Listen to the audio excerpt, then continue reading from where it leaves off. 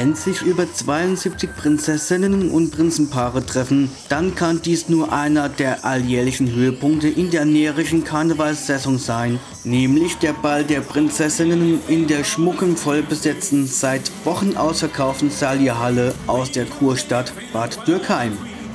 Bereits zwei Wochen nach dem offiziellen Startschuss in die fünfte Jahreszeit stand den neuen Tolitäten ein rauschender Ballabend bevor.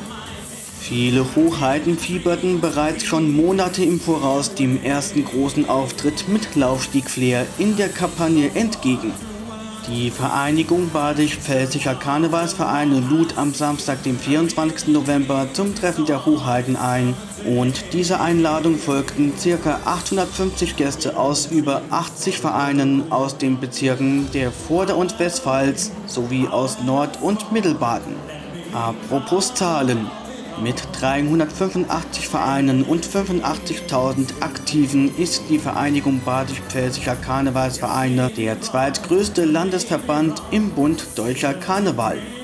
Und einer der Vereine davon sind natürlich auch unsere Bruchkatzen aus Rammstein mit ihrer stolzen Tollität Denise der Ersten.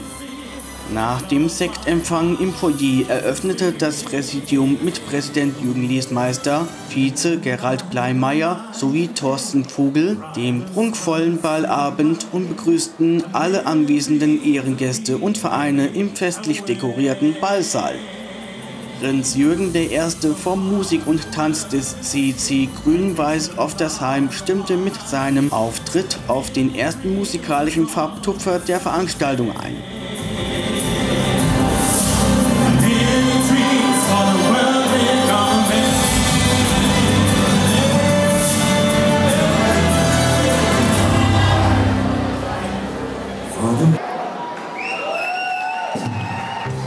Nach und nach präsentierten sich alle Prinzessinnen und Prinzenpaare mit Eleganz ihre entzückenden Ballkleider und maßgeschneiderten Uniformen auf der Bühne und ließen sich wie auch unsere Tollität Denise die Erste hier mit dem ersten Vorsitzenden Erik Martin vom Publikum feiern.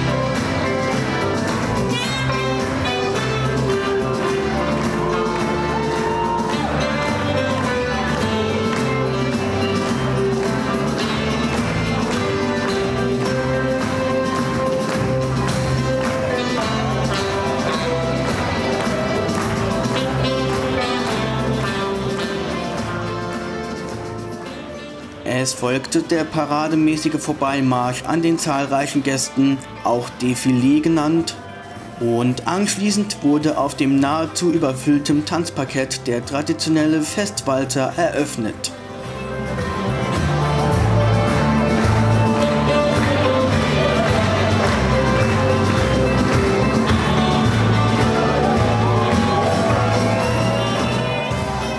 Als tänzerisches Highlight präsentierte sich unter tosendem Beifall die Männerballettszene mit der Gruppe Gefühlsecht von der Mühlburger Karnevalsgesellschaft in Karlsruhe.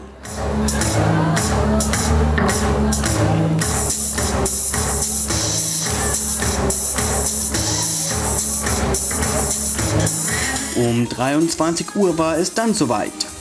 Unter großem Applaus und Jubel versammelten sich alle Prinzessinnen und Prinzenpaare zum gigantischen Gruppenfoto vor der Bühne. Und dann ging das Blitzgewitter auch schon los. Was für ein traumhaft schöner Anblick auf all die Schönheiten, Prinzen und Symbolfiguren. Mittendrin natürlich auch wieder unsere Prinzessin Denise die Erste, die diesen unglaublichen Moment einfach nur genoss.